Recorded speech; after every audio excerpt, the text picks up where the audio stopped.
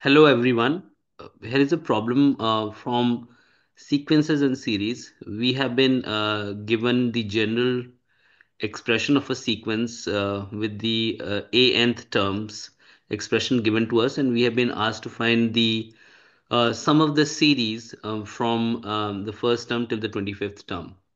As you can see that the general term is um, minus 2 upon 4 n square minus 16 n plus 15. Uh, so let us see how do we solve this problem. an important call out that I would make over here is, you know, not all problems is uh, problems of uh, of a series summation uh, is a straightforward problem of adding um, of using a formula. Let's say you use the formula of uh, sum of an arithmetic progression um, or the sum of a geometric progression, or to some extent an, a harmonic prog progression as well. Some of these uh, series are special in nature, and we have to understand the pattern that is involved uh, to solve so, so to solve that problem. We will discuss many such problems uh, to understand the special nature of such series, uh, and we'll understand how to solve them. Today's is uh, is is is one such example, uh, and we will do many such problems like those. So um, let us deep dive into the um, solution of the problem. So the nth uh, term of the expression is minus 2 upon 4 n square minus 16 n plus 15 as you can see that the denominator is a quadratic polynomial and we can always factorize a quadratic polynomial if there is uh, a factorization possible. You can see that the first term of the quadratic polynomial is 4 and, and the last term is 15. So the product is um, 60. I would rather say plus 60, positive 60. And the middle term is minus 16n, which means we can find, uh, let us try and try and see if we can find, um, if we can factorize this.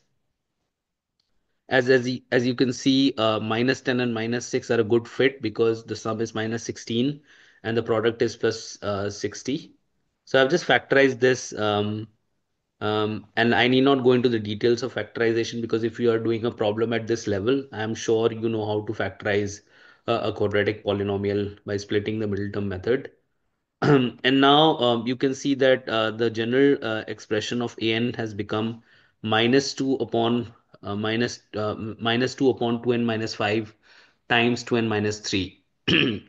Now, when you get an expression like this, right, um, uh, to to further solve this, it is a good idea to split this even further into two terms, um, so that you know you can see a pattern emerging between those two terms. It may sometimes be um, even a little bit more complicated than this. Uh, this expression is pretty simple, I would say, wherein you know I can um, express minus 2 upon 2n minus 5 times 2n minus 3 as a upon 2n minus 5 plus b upon 2n minus 3, we will find out uh, what that a and b uh, is going to be. So I have written minus 2 upon 2n minus 5 and 2n minus 3 as a upon 2n minus 5 plus b upon 2n minus 3.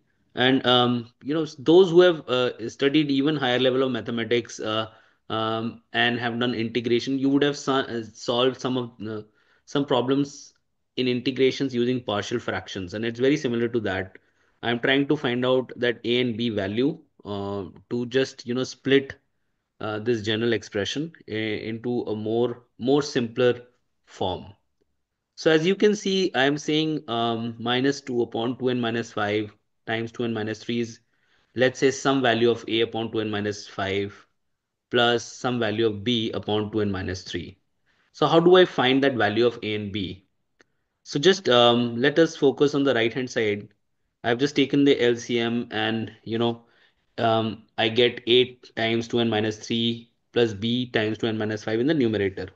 Now what I've done in the next step is I have you know brought all the terms of n together and all the terms um, for the integer minus 2 together, right? Look, what would equal to my the integer minus 2, which which in other words means that a plus b is going to be 0 because we do not have any term um, with related to n in the numerator on the left hand side of the expression. But minus 3a and um, minus 5b would be equal to minus 2 because those that's the only numeric expression uh, that um, that would equate to the integer on the numerator on the left hand side. So now I get two equations, uh, a plus b equal to 0, which means a is equal to minus b, and minus 3a minus 5b is equal to minus 2. So solving uh, this um, um, these two uh, you know linear equations in two variables, I would say I would get b is equal to 1 and a is equal to minus 1. So my expression now um, becomes minus 2 upon 2n minus 5 2n, and times 2n minus 3 is equal to minus 1 upon 2n minus 5 plus 1 upon 2, 2n minus 3.